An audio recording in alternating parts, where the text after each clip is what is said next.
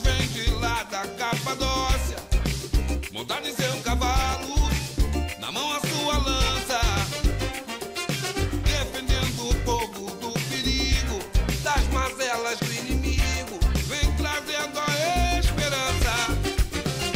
Jorge, nosso povo brasileiro, tem alma de guerreiro,